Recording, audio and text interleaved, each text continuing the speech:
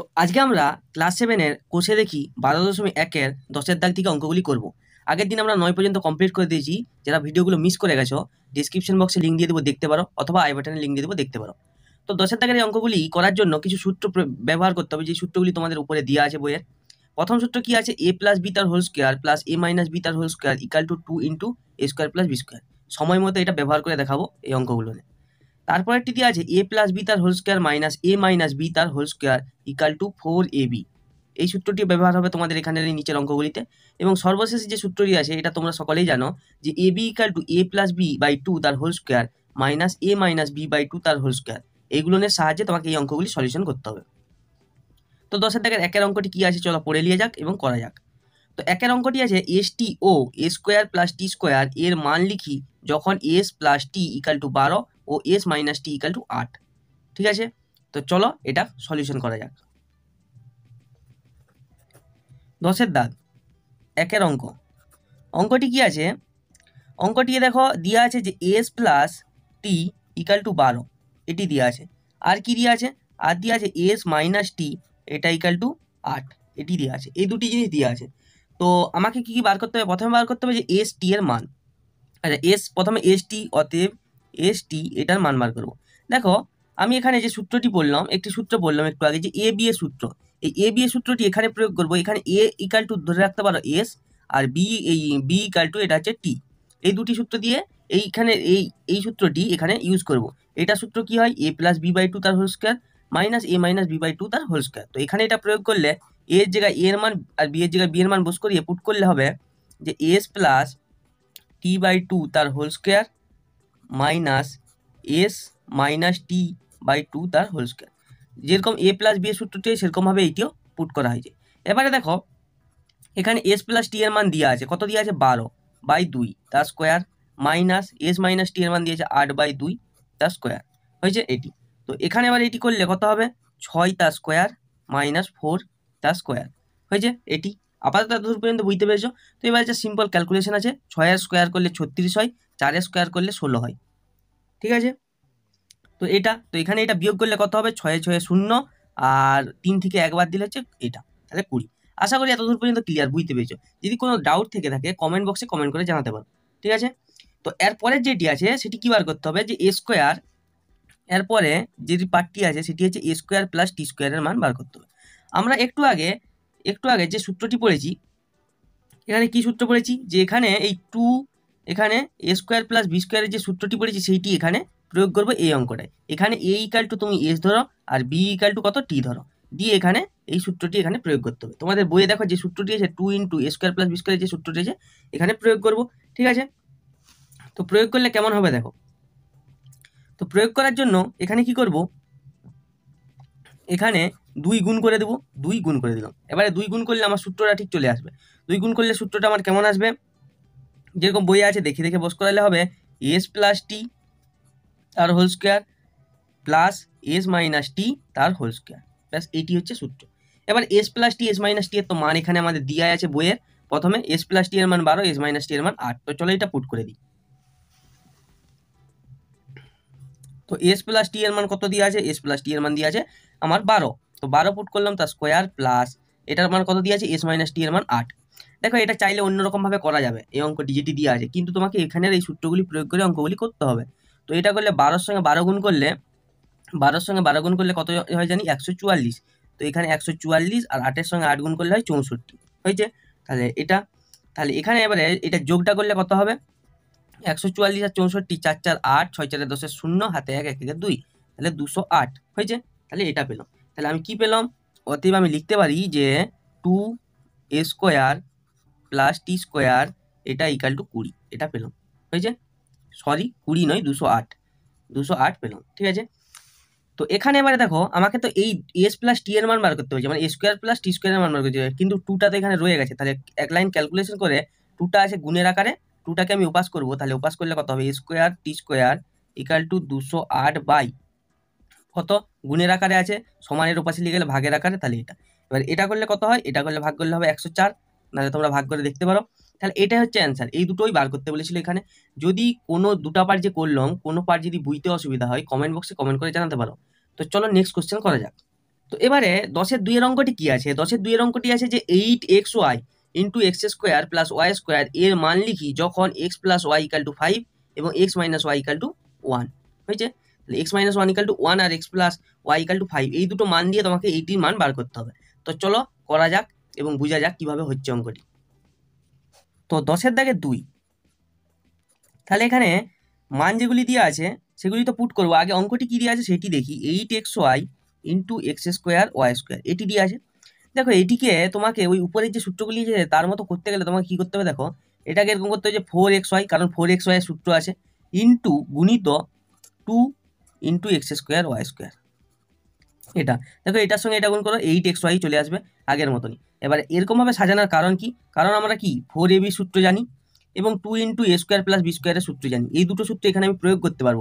সেই জন্য এই দুটো আকারে সাজালো আশা করি বুঝতে পেরেছ। তো এবারে তাহলে এখানে ফোর এক্স ওয়াইয়ের সূত্র বস করাবো। মানে ফোর এ বি সূত্র বস করাবো। ফোর এ বি সূত্র কী হয়? সেটাকে এক্স আর ওয়াইয়ের টাইমে শুধু বস করে দেবো। এটাকে করলে হবে এক্স প্লাস ওয়াই তার square minus X minus Y তার স্কোয়ার এটা হলো ফোর এবি সূত্র। এটা মানে ফোর এক্স ওয়াই সূত্র। শুধু এক্স আর ওয়াইয়ের টাইমে বস করেছি। এবারে two into X square Y স্কোয়ারের জন্য সূত্র বস করাবো। এটা সূত্র কী হবে? এইটা two A square plus B square এটা, তো এটা সূত্র বস করালে কী হয়? এটা সূত্র বস করালে হবে এ প্লাস এই এ নয়, এখানে এখানে হবে এক্স এক্স প্লাস ওয়াই তার square plus X minus Y তার স্কোয়ার হয়েছে? এটা। তাহলে এই দুটো সূত্র আমরা এখানে পেলাম। এবারে প্রত্যেকের মান বোস করাবো। দেখো, এখানে মান বোস করালে এক্স প্লাস ওয়াইয়ের মান কত আছে? এক্স প্লাস ওয়াইয়ের মান এখানে দেখো, যে মানগুলি দিয়ে আছে সেগুলি দেখো একবার। এখানে এক্স প্লাস ওয়াইয়ের মান আছে ফাইভ এক্স মাইনাস ওয়াইয়ের মান আছে ওয়ান তো এইগুলো আমরা এবারে বোস করাবো। তো এখানে তাহলে এক্স প্লাস ওয়াইয়ের জায়গায় এক্স প্লাস ওয়াইয়ের মান বোস করাবো। তাহলে সেটা কত হবে? Five the square minus X minus ওয়াইয়ের মান বোস করাবো, সেটা হবে ওয়ান এটা, আর এপাশে এক্স প্লাস ওয়াইয়ের মান বোস করালে five the square plus X minus ওয়াইয়ের মান বোস করালে ওয়ান দ্য স্কোয়ার ব্যাস, এটা। হয়েছে? আশা করি এতদূর পর্যন্ত ক্লিয়ার এবারে ক্যালকুলেশন করব পাঁচের স্কোয়ার করলে হবে পঁচিশ মাইনাস এখানে একের স্কোয়ার করলে তো এক। এবং এখানে ক্যালকুলেশন করলে হবে পঁচিশ প্লাস এক। হয়েছে? তাহলে এতদূর পর্যন্ত ক্লিয়ার তো এটাকে এবারে করলে এটা হবে কত? চব্বিশ। আর এটা হবে ইন্টু ছাব্বিশ। তাহলে চব্বিশ আর ছাব্বিশের এবারে গুণ করতে হবে, কত হয় দেখি। এবার চব্বিশ আর ছাব্বিশের এখানে একটু গুণ করে নেব, যে চব্বিশ আর ছাব্বিশ। ঠিক আছে? তো গুণটা করলে কত হবে? চার ছয়, চব্বিশের চার, হাতে দুই ছ দুগুণে বারো, চোদ্দ। আর এটা হবে চব্বিশ দুগুণে কত? আটচল্লিশ মানে আট আর ফোর তাহলে এটা করলে, তাহলে চার আট ছয় চোদ্দ, চার হাতে এক, তাহলে এটা ছশো চৌষট্টি। তাহলে এটা হবে ছশো চৌষট্টি। ব্যাস এটা হচ্ছে অ্যান্সার আশা করি বুঝতে পেরেছ? তো চলো নেক্সট কোশ্চেন করা যাক। তো দশের তিনেরটা এবারে কী আছে? দশের তিনের তিনের অঙ্কটা আছে যে X square plus Y square by two X Y এর মান লিখি যখন X plus Y equal to C nine এবং X minus Y equal to five তো চলো এটা করা যাক। তাহলে দশের দাগে তিন। আচ্ছা এখানে কি কি মান দেওয়া আছে? এখানে আছে X plus Y equal to nine R X minus Y equal to five এটা দেওয়া আছে। তো এখানে এবারে তাহলে আমাকে কি কি মান বার করতে হবে? এখানে এই মানটি বার করতে হবে যে X square Y square by two X Y এর মান বার করতে হবে। হয়েছে? দেখো, এখানে তো এক্স স্কোয়ার ওয়াই স্কোয়ার সূত্র প্রয়োগ করতে পারব নি আমি। আর এখানে এক্স ওয়াই এর সূত্র চাইলে প্রয়োগ করতে পারব, কিন্তু কোনো লাভ হবে না। তোমাকে এখানে এক্স স্কোয়ার ওয়াই স্কোয়ারের সূত্র কোনো প্রয়োগ করা যাবে না সেই জন্য আমরা এখানে কি করব দেখো, উপরে কি করব? দুই দিয়ে গুণ করে দেবো। দুই দিয়ে গুণ করলে হবে two into X square Y square এবারে দেখো, এই সূত্রটা আমি প্রয়োগ করতে পারব। মানে two into square plus B square তাহলে দেখো, উপরে যেহেতু দুই গুণ করলাম, নিচেও দুই গুণ করে দেবো। হয়েছে? তাহলে উপর নিচে দুদিকেই দুই গুণ করে দিল তো এবারে তাহলে ক্যালকুলেশন করলে কত হবে? Two into X square plus Y square এটা বাই ফোর এক্স ওয়াই এটা। এবারে দেখো, দুটোকে সূত্রে আমি ফেলতে পারব।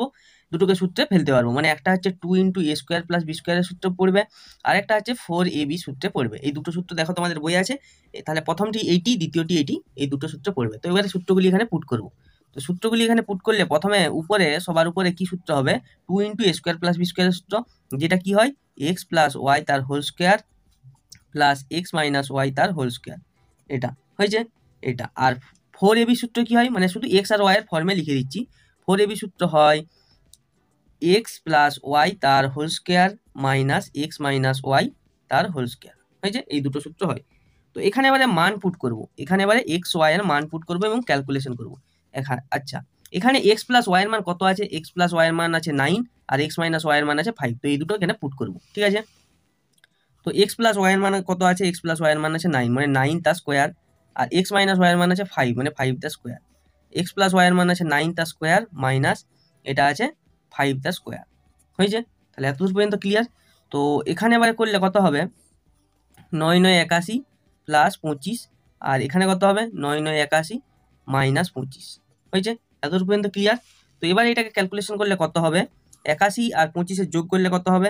এখানে পাঁচ একে ছয় আর দুয়ে দশ মানে একশো ছয়, আর এখানে বিয়োগ করলে কত হবে? এখানে বিয়োগ করলে দেখো কত হবে? এখানে এগারো মানে পাঁচ, ছয়, এগারো, হাতে এক, তিন, আর পাঁচ মানে ছাপান্ন, হয়েছে এটা। এবারে এটাকে কাটাকাটি বা ক্যালকুলেশন একটু করলে কত হবে? এটাকে দুই দিয়ে কাটলে কত হবে? দুই দিয়ে কাটলে পাঁচ আর তিন, আর এটাকে দুই দিয়ে কাটলে দুই দুয়ে চার, আর হচ্ছে আট, তাহলে আঠাশ। যদি না কাটাকাটি করতে পারো, তাহলে দুই দিয়ে এটাকে ভাগ করবে, তিপান্ন বেরোবে দুই দিয়ে এটাকে ভাগ করবে, আঠাশ বেরোবে তো এটা এটা আর কোনো কাটাকাটি বা ক্যালকুলেশন করা যাবে না, তাহলে এটাই হচ্ছে অ্যান্সার তো চলো নেক্সট কোয়েশ্চেন করা যাক। তো এবারে দশের দাগে চারের অঙ্কটি কি আছে? ছত্রিশকে দুটি বর্গের অন্তরূপে প্রকাশ করি। তো কীভাবে করতে হবে? সেটার একটা সংকেত দিয়ে আছে। চাইলে দেখতে পারো, কিংবা আমি বুঝিয়ে করে দিচ্ছি, দেখো। ঠিক আছে? তো চলো করা যাক। তো চারের দাগের অঙ্কটি কি হবে? ছত্রিশ। আমরা ছত্রিশ কিরকমভাবে ভাঙবো যে নয়, চারে ছত্রিশ। হলো? বা চার, নয়, ছত্রিশ করতে পারো। এবারে আমরা ঠিক এ, বি এ সূত্র আকারে প্রকাশ করব। এখানে এ, বি এ সূত্র আকারে প্রকাশ করলে এ তোমার নাইন হবে, আর বি হচ্ছে ফোর হবে। তো এখানে এটাকে বর্গের অন্তরূপে প্রকাশ করার জন্য এটাকে ভেঙে দিতে হবে এরকম গুণের আকারে। তো এবারে এটাকে নাইনকে আর ফোরকে এ বি যদি ধরি এ হচ্ছে নাইন বি হচ্ছে ফোর তো সূত্র আকারে করলে কি হয়? এ বি এ সূত্র কি হয়? A plus B by two তার হোল স্কোয়ার এ কত নাইন আর বি কত বি হচ্ছে ফোর বাই টু তার হোল স্কোয়ার মাইনাস কত?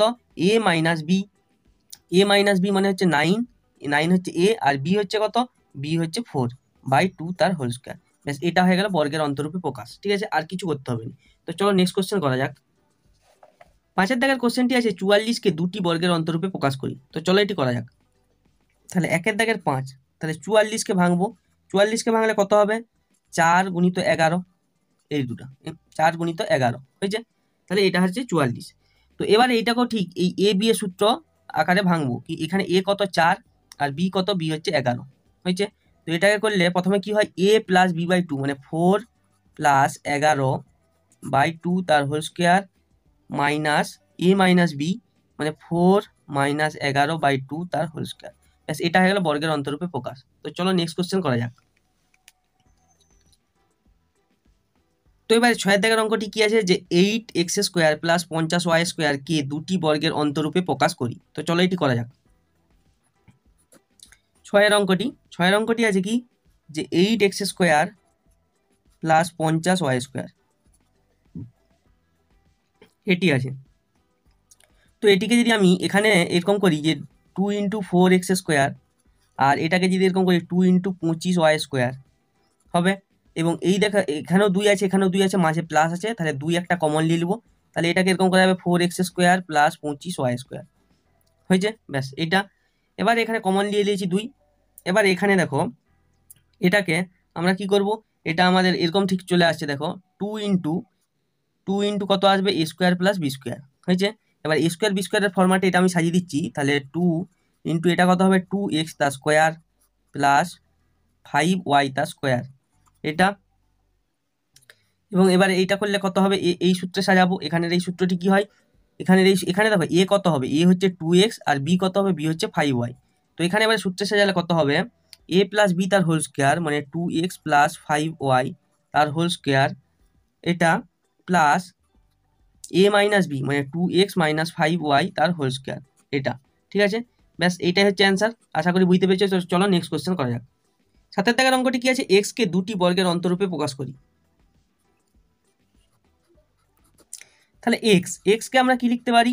ওয়ান ইন্টু এক্স তো একেবারে এই এ বি এ সূত্রে সাজালে এখানে এ কত হবে? এক, আর বি কত হবে? এক্স তো এটাকে করলে কি কি হবে? A plus B by two মানে এ হচ্ছে ওয়ান প্লাস বি হচ্ছে এক্স বাই টু তার whole square minus A minus B by two মানে one minus X by two তার হোল স্কোয়ার ব্যাস, এটা হয়ে গেল বর্গের অন্তরূপে প্রকাশ।